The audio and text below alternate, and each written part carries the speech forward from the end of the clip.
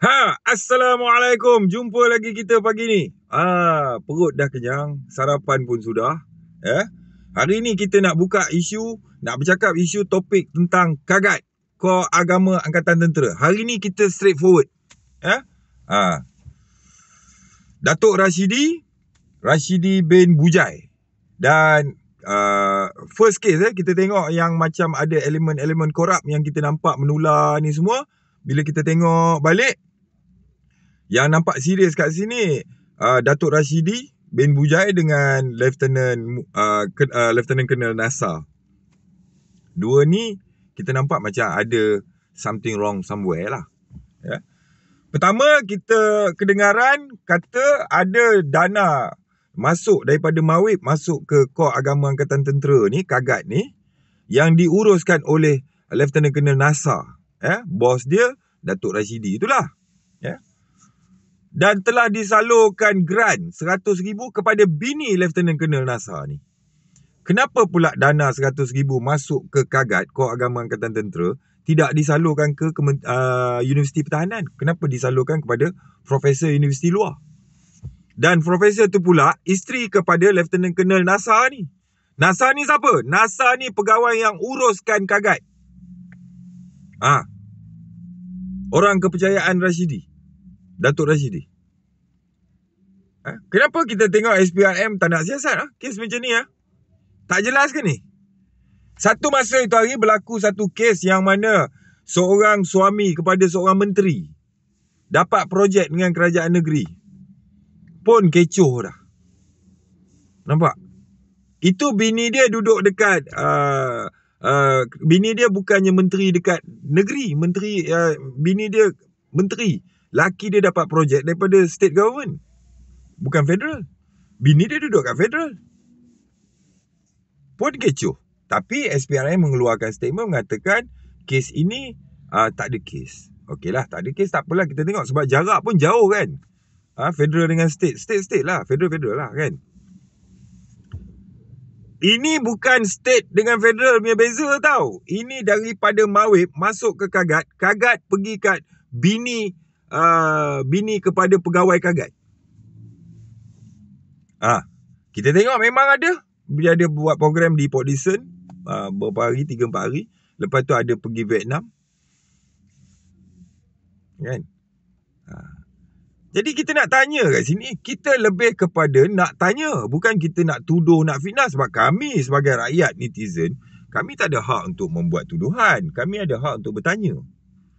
Sebab uh, nak buat tuduhan ni yang boleh buat ni SPRM, penguat kuasa yang menyiasat kes ni, bolehlah depa bolehlah buat pertuduhan. Kan? Kami tak boleh buat keputusan dalam hal ni. Kami boleh bertanya. Jadi korang ni ha, macam kagat dia keluar satu uh, apa ni surat uh, mengatakan uh, dia buat penafian dan di dalam penafian dia nak menakut-nakutkan orang yang bercakap tentang isu dia. Dia kata kita dah buat tujuh laporan polis. Kau ingat buat tujuh laporan polis tu untuk apa? Dengan laporan polis saja cukup untuk menampakkan kau suci. Tak bersalah. Tak boleh dikaitkan dengan sebarang pertanya, uh, pertuduhan. Tak boleh ditanya. Semua tak boleh. Rakyat tak boleh tanya dah. Pasal dah ada tujuh laporan polis. Kan? Sepatutnya kau buat surat secara rasmi. Kalau betul gentleman, department kau bersih. Tak ada penyelewengan. Kalau disiasat di sudut aset, disiasat di sudut aliran keluar masuk wang, proses-proses dia apa semua, kalau dilihat disiasat eh, tak ada masalah. Kau sepatutnya berani buat surat, bukan buat surat mengatakan, oh ini semua penafian lah apalah. Bukan buat surat macam ni. Kau buat surat pergi ke pengarah SPRM, minta pengarah SPRM hantar pegawai menyiasat department kau. Atas sebab ada berlaku penularan uh, yang mengatakan bahawa uh, jabatan kau agama tentera ni uh, ada terlibat ada elemen-elemen yang menampakkan seolah-olah uh, telah menyeleweng dana sebanyak RM100,000. Maka saya minta agar SPRM menghantar seorang pegawai masuk ke dia jabatan saya untuk menjalankan siasatan bagi membersihkan nama jabatan kami. Ha. Sepatutnya macam tu. Betul tak? Ini kerajaan madani, Anwar Ibrahim kata apa? Rakyat bebas bersuara. Kau pergi ketuk lah Usahakan tujuh report Tujuh puluh report kau ketuk pun Tak ada apa punya Pasal apa Kita tanya, bukan kita tuduh. Yang dia mengelupur sangat, kenapa? Kan? Dan aku dapat maklumat daripada dalam. Kan? Dia orang sekarang ni sibuk. Uh, dia gunakan risik. Sibuk untuk siasat siapa individu yang uh, si tuah derhaka, no one scam ni semua dia nak siasat yang ni. Kat sini kau nampak tak? Antara orang menuduh dengan orang bertanya pun dia tak tahu beza. Dua ayat ni tak tahu beza. Kan? Kurang-kurang dua orang ni, pangkat besar-besar ni, sekolah pun lebih kurang tinggi juga ni. Takkan dua ayat ni pun tak tahu? Tak tahu beza kot? Betul? SPRM pun satu hal. Kan? Kenapa tak gerak lagi ni? Tak siasat lagi? Pasal apa? Dia ada kabel. Datuk Rashidi ada kabel dekat SPRM eh? Ha, sebab tu aku nak nasihatkan SPRM, kau orang jangan duk bersedara sangat dengan jabatan-jabatan kementerian-kementerian kerajaan ni. Kalau dia buat hal macam mana kau nak siasat? Perdana Menteri pun masuk jail. Kalau dengan kertas report penafian je, ha, itu sebenarnya dia nak mengugut, nak menakut-nakutkan orang yang nak bersuara, nak bertanya kat dia. Dia nak, nak tutup mulut orang supaya jangan bertanya. Betul tak? Apa kau fikir kalau kau ketuk report boleh tangkap orang yang tanya tu? Dia tanya bukan dia tuduh yang kau mengelupur sayang kenapa? Ha. Tak salah kenapa nak takut? Betul tak? Ha.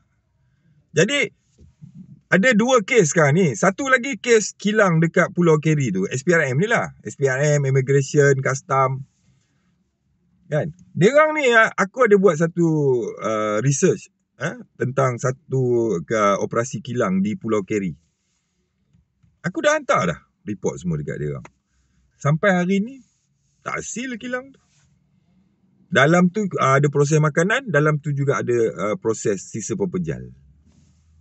Dan aku difahamkan dalam tu warga asing. Kilang tu dimiliki oleh rakyat China. Pekerja dia pun China. Uh, campur-campur lah ni. Semua kosong dengar kata. Ada pergi buat operasi cek tak? Tak ada. Pasal apa? Kes tak popular, tak glamour. Pasal tu ke? Ha, saya tak kisah. Saya jebat dia ke.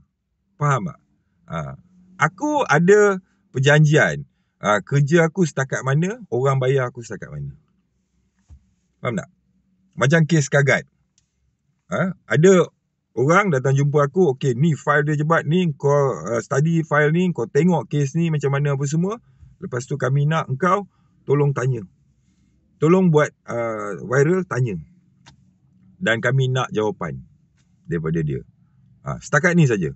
Aku tak boleh nak pastikan oh immigration akan buat kerja, custom akan buat kerja, SPRM akan buat kerja. Ini semua bukan kerja aku. Kerja aku siapkan ni semua dokumen ni hantar report je. Ha, orang nak bayar aku RM50,000, ah ha, paling sikit RM50 lah. RM50 ke RM100,000 ke apa ke. Itu aku punya kerja dah habis. Sama macam kagat ni. Kan? Aku tak kisah SPRM nak siasat dia ke tak nak siasat dia. Tapi aku tetap kena tanya. Faham? Ha. Dalam kes grant RM100,000 ni memang nampak ada elemen-elemen yang tak kena. SPRM kena siasat. Belum lagi kes-kes lain yang berkaitan dengan jemaah haji kena scam. Ha, jemaah haji kena scam. Ada report polis. Ada report SPRM. Apa dah jadi dengan kes tu? Aku difahamkan kes tu telah dirujuk ke Panglima Angkatan Tentera dan Panglima telah pi uh, NFA kan kes tu. Uh, tapi kat sini aku nampak okey, Panglima NFA bermakna mungkin jemaah haji ni perlu buat civil suit lah atau pergi ke tribunal lah. Eh, tak apalah. Betul tak? Tapi kes tentang dana ha, tentang program-program yang dibuat oleh Kagat ha, Kagat ni sepatutnya dah mula kena masuk, SPM kena masuk, siasat aliran keluar masuk wang dia, audit dia, check semua sekali. Saluran pergi ke mana, siapa travel agency, travel agency ni adakah dia kenalan rapat dengan Datuk Rashidi. Ni semua kena siasat ni. Mana boleh bagi projek dekat kawan baik? Nampak ada elemen rasuah lah kat situ. Betul tak? Ha? Anak sulung Datuk Rashidi kahwin. Kena cek ada sponsor ke? Siapa sponsor? Datuk Dr. Khairul Fauzi. Dia dengan travel agency ni aku difahamkan kata sepupu. Ha. Dia ni pula duduk dengan Kagat. duduk dengan uh, bukan Kagat, duduk dengan Datuk Rashidi. Siapa mereka ni semua? Satu kumpulan, satu kroni buat satu projek ke? Yang ni sepatutnya SPRM highlight siasat ni. Oh, Datuk dengan Datuk, pengarah dengan pengarah. Oh, dia ni geng main golf sekali. Daripada main golf sampailah duit zakat, sampailah saluran duit keluar apa semua. 40 page dokumen ada kat aku. Ha. Tapi bukan kerja aku untuk menentukan mereka ni salah tak salah, mereka ni menyeleweng tak menyeleweng. Daripada sumber-sumber yang sampai ni, aku minta pihak SPRM siasat. Dan kagat, Kenapa kau pergi buat report macam tu? Nampak report tu macam bodoh ke report tu? Sepatutnya, engkau buat laporan polis. Ha, ada berlaku penularan begini dan saya minta uh, pihak polis. Ha, dengan laporan ini, saya akan rujuk kes ini kepada SPRM. Laporan polis ni akan dirujuk kepada SPRM. Minta SPRM siasat jabatan saya. Kerana ditakuti ada di kalangan anak buah saya telah menyeleweng tanpa pengetahuan saya. Sepatutnya Rashidi to be professional. Datuk Rashidi akan buat yang macam ni. Kenapa dia macam nak jaga sangat? Dia tak nampak ke? Seratus ribu tu pergi kat bini Lieutenant kena nasar tu dia tak nampak ke? Tentera bukan ada universiti pertahanan ke? Kenapa pergi kat universiti luar? Faham? Memang ada mesyuarat jawatan kuasa untuk meluluskan satu-satu dana. Kepada mana-mana profesor ataupun mana-mana proposal apa semua. Tapi Masalahnya, Mawib bagi dana dekat Kagat. Kagat yang uruskan Kagat ni, Lieutenant kena NASA. Dan dia bagi dana ni, dana ni terlepas pergi kat bini dia. Ini ada hal tau.